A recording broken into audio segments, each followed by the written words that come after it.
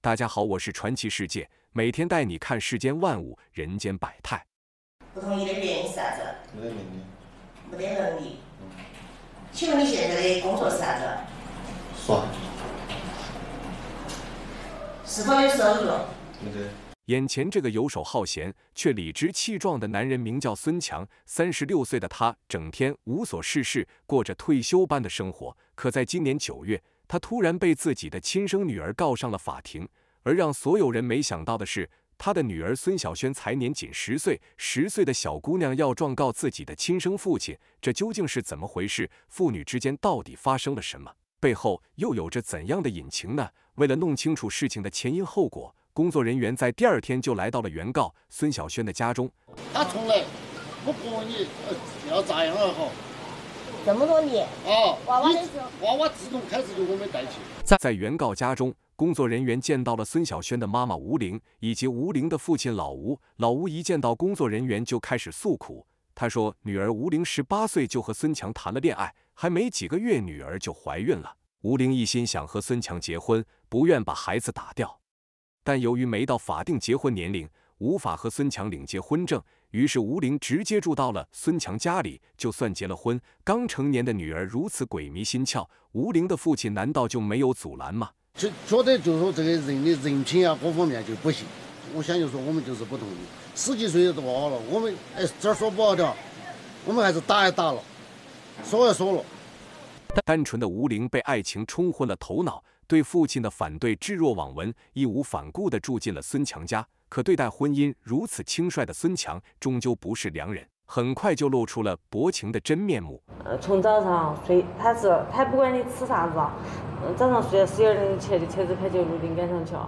有时候撞到人了就跑，没撞到人的话就茶楼上看他们打牌或者有啥自己打牌就要打一天，经常两三点钟、三四点钟才回来。吴玲说，自从她怀孕后，孙强每天借着工作的名义出去打牌，对她和肚子里的孩子漠不关心。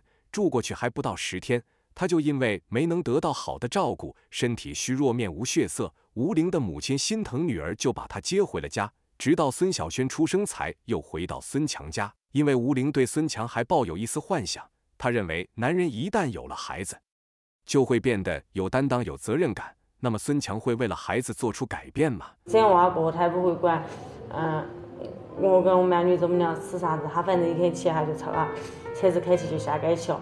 显然，有了女儿之后，孙强没有任何改变，每天仍像以前一样混日子。但是吴玲并没有轻易放弃这样的日子，她坚持了一年多，终于在二零一二年，吴玲忍无可忍地提出了分手。虽然没有结婚，但因为女儿孙晓轩的存在，两人还是签订了一份离婚协议书。协议书上写明，女儿由女方抚养，男方每月支付五百元作为女儿的生活费，直到女儿大学毕业，男方可以随时探望女儿。那么这么多年过去了，孙强被十岁的女儿告上法庭，与这份离婚协议书有关吗？孙强是否履行过曾经约定好的责任呢？也就是说，实际上你们俩分开开始，他一分儿抚养费都没给过。没有没有，你你咋个这么多年了才来起诉呢？然后幺二年到现在接近十已经十年了。啊，因为以前嘛一直没想到，每次问他嘛，他说没得没得，然后因为显然，自从签订了这份离婚协议，孙强仿佛卸下了一个包袱。这么多年都没看过女儿，更是没有打过一通电话，甚至在疫情期间也从未关心过女儿。所以吴玲彻底心灰意冷，决定为女儿讨回公道。所以她以女儿孙小轩的名义向法院提交了诉状。吴玲表示，这么多年过去，孙强早已再婚生子，组建了一个新的家庭。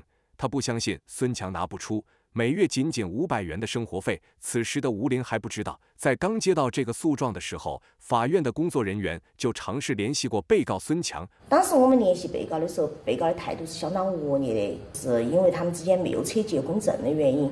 嗯，他就说的是，那你要说这个娃娃是我的，你就必须要拿出证据来。为了逃避责任，孙强甚至试图否认与女儿的亲缘关系，并且态度十分消极，拒绝到法院，也拒绝领取相关的文书。法院的工作人员为了案件能够顺利解决，只能将吴玲带到了孙强的居住地进行开庭前的调解。那么调解能够顺利进行吗？孙强是否愿意承担起他的责任呢？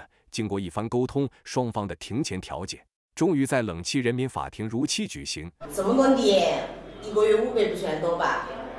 你说你没给给不完或者给不够，可能大家还可以理解下子，但是你是一分儿都没给的嘛？给我们得的嘛。没得。自从他晓得噻，那个时候就有点打牌赌啥子，跑去跟我说不不不做啥。面对法官的询问，孙强不再否认女儿与他的血缘关系，但却破罐破摔，宁愿承认自己是毒不务正业，也不愿意承担起抚养女儿的责任。孙强表示，他现在的一切开支都是由现任妻子负责的，别说每月五百元的生活费，就是一分钱他也拿不出来。你带了好多账，你查得到的。你带了好多账，不代表你这个就可以不履行了。那个是嘛？要我有嘛？有嘛？我肯定要得的嘛。不管法官说什么，孙强始终是一副无所谓的样子，一口咬定自己没钱，拿不出每月的五百元。对于吴玲提出不租之前未支付的生活费的说法，他也一口拒绝。就是说的是以前的都不给了，从现在开始再给是不？现在可以给。现在开始给给每个月给好多嘞？五百噻。不同意。